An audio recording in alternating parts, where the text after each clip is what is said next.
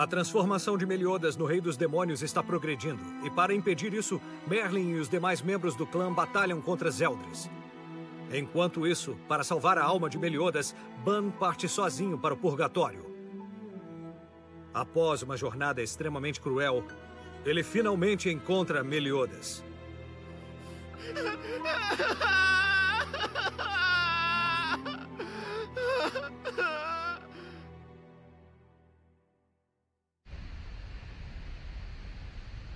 Eu já tinha desistido de sair daqui. Achei que nunca mais ia sair do purgatório e voltar para o outro mundo. Ou ver a Elizabeth. Aí, Ban, eu também estava achando que nunca mais ia ver você. Mas o que, que você está fazendo aqui no purgatório? Por acaso o Ban morto-vivo bateu as botas? É claro que não, seu idiota. Eu vim aqui só para poder te resgatar, capitão. Oh, peraí, então quer dizer que você sabe como sair desse lugar? Hã? Você é um idiota, hein, Ban? Jura mesmo que veio até aqui sem saber como a gente vai sair? Ah, o que, que você queria, hein? Eu não podia deixar você sozinho num lugar como esse. O melhor amigo é pra essas coisas, né? É, Bom, temos todo o tempo do mundo. é, vamos dar um jeito de sair logo daqui.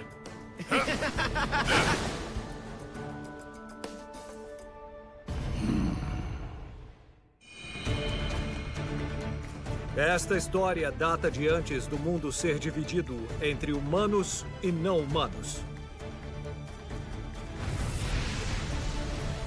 A Guerra Santa, outra vez. Nem mesmo os deuses sabiam como ia terminar a guerra que determinaria o destino de Britânia. Mesmo assim, eles continuaram a lutar. Lutaram para destruir o mal e proteger os seus entes queridos. E por isso, eles são os heróis escolhidos. Os sete pecados capitais.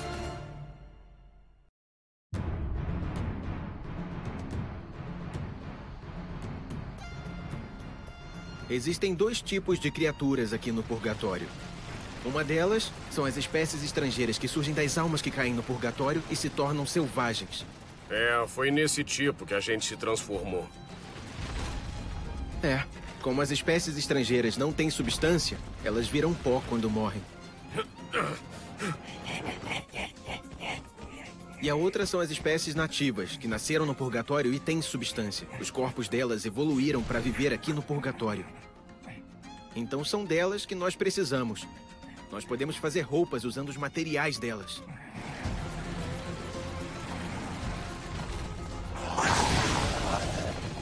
Ela fugiu rápido assim? Que interessante!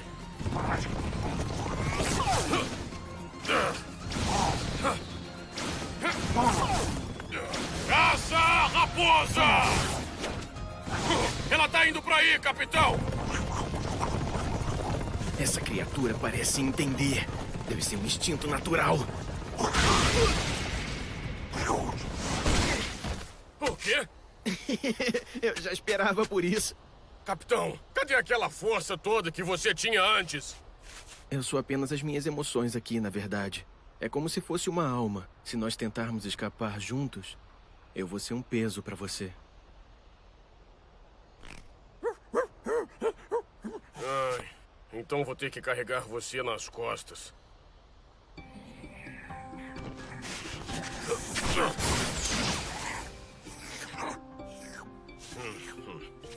Causa da maldição do meu pai, eu perco a minha forma real sempre que morro e venho pro purgatório.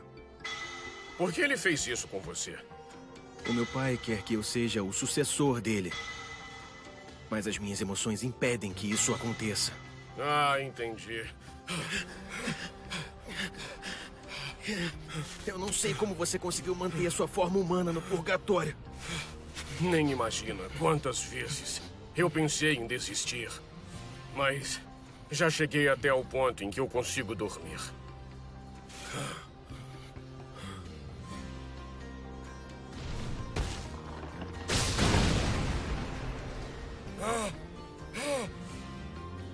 Consegui!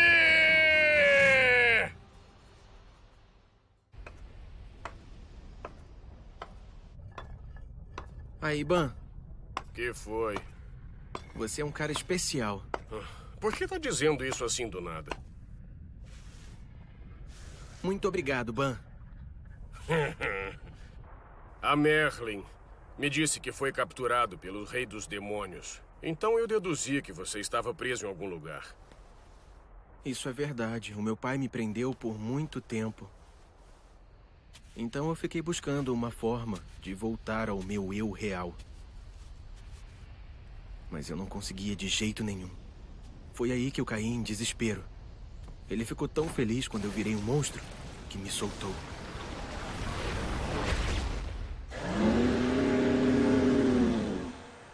Então quer dizer que ele não pensou na possibilidade de você fugir enquanto estava solto, caso achasse a saída em algum lugar daqui, capitão? É verdade. Ele me soltou e não ficou nem com medo de eu fugir desse jeito. Ou seja, a saída deve estar bem perto do lugar onde o meu pai fica. Faz sentido, não faz? Na verdade, eu acho que não custa nada tentar.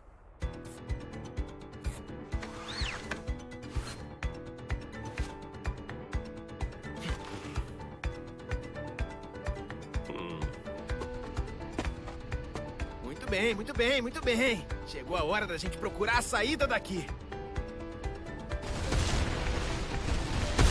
Ah, capitão! Qual a primeira coisa que vai fazer no mundo dos vivos? Eu vou quebrar a maldição da Elizabeth e beber cerveja de Berne até não aguentar mais. O meu plano é trazer a Elaine de volta à vida. E também, eu quero me afogar em cerveja de Aberdeen por dias. Ah, ótima ideia, Ban. a gente se dá bem, né, capitão? Reação total!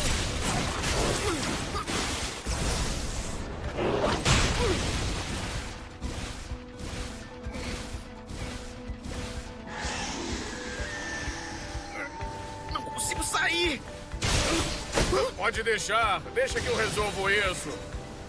Caçada louca!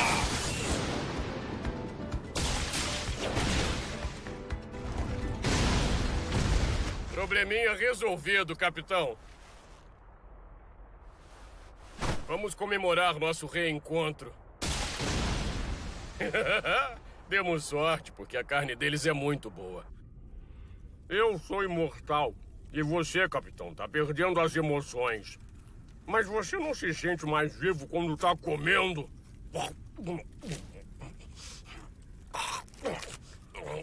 Tá olhando o quê? Fazia uns 500 anos que a gente não se via. Eu tô chocado com a sua capacidade de se adaptar ao purgatório. Ah, e você queria o quê? Diferente de você, eu sou de carne e osso. Então eu tinha que me adaptar, né? Mesmo assim, acho um absurdo você conseguir viver desse jeito. Hum, Que loucura.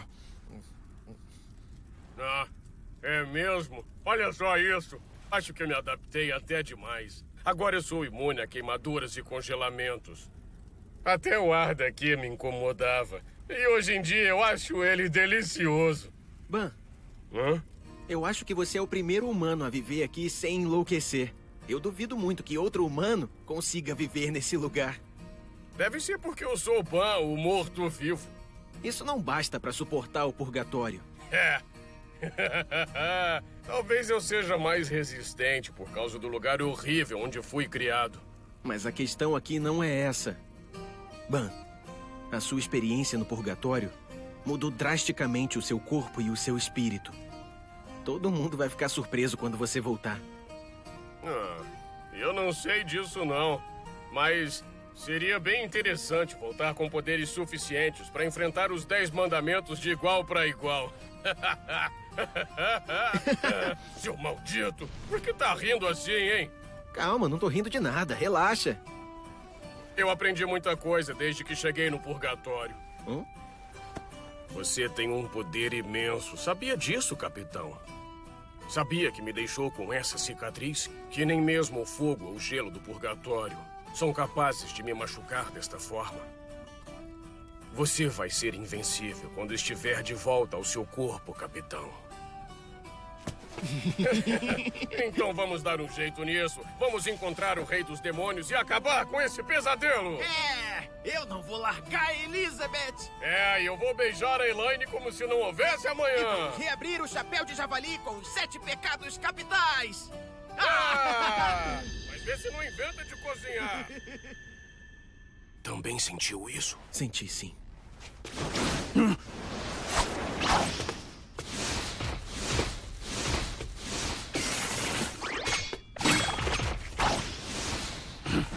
Ah, te peguei! Não se mexa. Quem é você? Eu que deveria estar fazendo essa pergunta, criaturas estranhas. Eu ouvi vocês conversando e falando de voltar e outras coisas que eu não posso ignorar. Eu não tenho certeza, mas será que vocês são viajantes de outro mundo? Acho que podemos dizer que sim. Eu sabia. Maldito! Você é subordinado ao Rei dos Demônios? O Rei dos Demônios? Ah, tudo que eu posso dizer é que eu sei onde ele tá. Você sabe onde ele tá? É sério? Eu posso mostrar o caminho para vocês se quiserem, mas tem um preço. Vou pedir a cooperação de vocês em troca.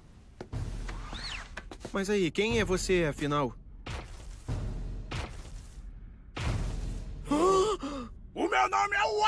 Um guerreiro errante em busca de um irmão perdido desde o nascimento. Sou eu mesmo! O quê? O mestre? O que foi? Foi alguma coisa que eu disse? Olha, esse é seu irmão perdido desde o nascimento. Você tá falando do Rock, não tá? Hulk? Bom, na verdade, o nome do meu irmão era Maud. Mas, infelizmente, a gente foi separado assim que ele nasceu. Então, ele também não deve lembrar do nome dele de batismo. Peraí, vocês se conhecem? Quer dizer que tem alguém parecido comigo que pode ser o meu irmão? Ele não é só parecido, é a cara de um, o focinho do outro. Podiam ser até clones.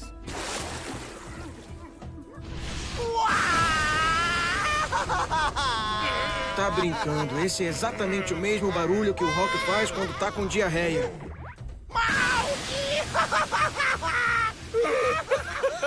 A minha barriga tá doendo de tanto rir. Eita, tá chegando uma tempestade de areia quente. Meus convidados de outro mundo, vamos lá pra casa e a gente pode se proteger lá, tá bom? Uau! Você fez tudo isso sozinho? É a primeira vez que eu trago alguém aqui na minha casinha. Eu tenho muito orgulho dela, sabia? Hum, eu tô bastante impressionado com a sua casa. É, a gente faz o que pode, né? Cara, isso aqui é bem desconfortável. Ban, isso é só decorativo. É tudo bem elaborado aqui. Pois é, é como eu falei. A gente faz o que pode. Bebam isso aqui. Eu fiz um chazinho de verruga de bunda de javali. Bunda de javali? É um chá de verrugas? Tem gosto de purgatório. Eu sou obrigado a concordar, capitão.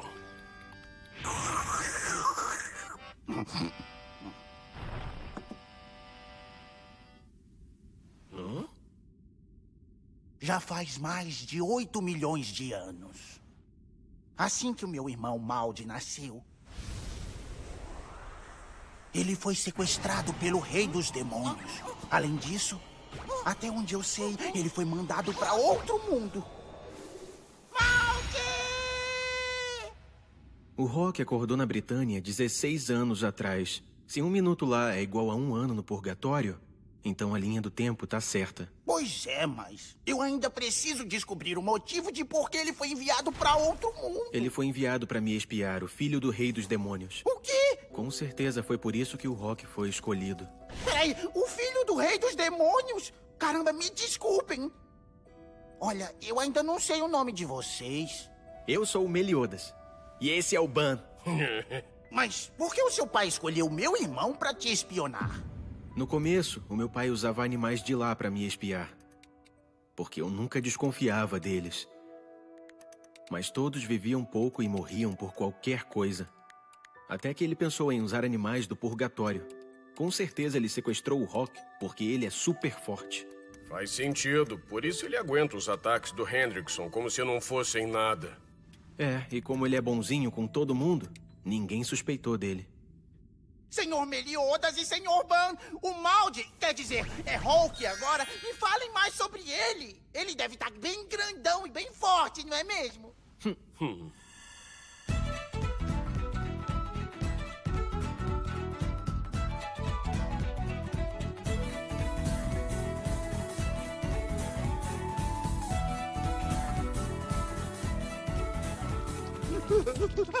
que, que foi, Wild? Ah, que droga! Ele esperava uma coisa bem diferente. Deve ter entrado em choque. Ban, pega minha sacola. Vai ajudar ele a respirar. Onde ela tá? Desculpa, Wild. Eu acho que nós fomos sinceros demais, né? Deve ser muito frustrante descobrir que o seu irmão não é quem você imaginava. Sim, foi um choque muito grande mesmo. Apesar de tudo isso que eu acabei de saber, ele não deixa de ser o meu irmão de sangue. Nada disso muda o fato de ele ser o meu querido irmãozinho. É, você tá certo.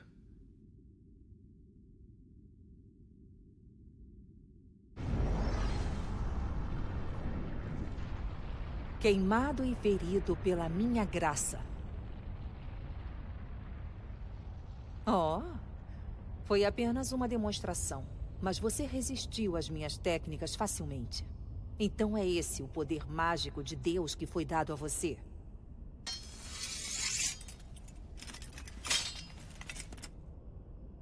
Hein?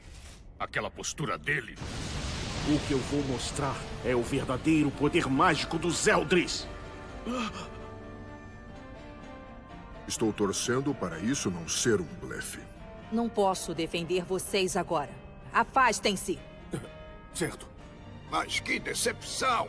Pois é, esse lugar não é pra gente. Sinta o meu poder! Névoa ameaçadora!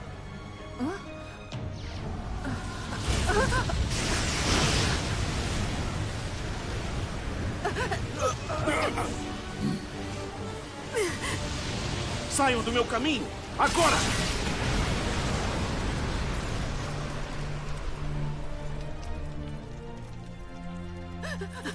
Que foi que aconteceu? O meu corpo foi arrastado.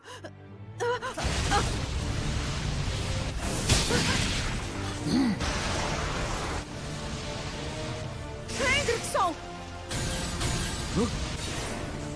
Fica tranquilo, os dois ainda estão vivos. Senhorita Merlin, De qualquer forma, essa situação é. Quanta destreza! Vamos manter a distância. Se precisar, vamos nos teletransportar. Você queria tanto que eu me aproximasse? Então eu vou até aí. Agora sim estou entendendo como é que você luta.